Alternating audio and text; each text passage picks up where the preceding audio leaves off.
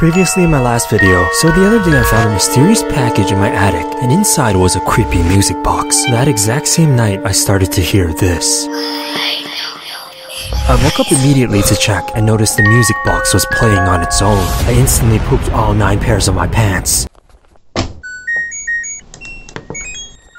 I approached the box with absolute caution to take a closer look. That's when I noticed something incredibly spooky pants McGee. The Barbie doll's eyes were all red. Holy science squid. Was the music box haunted? Or was there someone inside the house? Seven?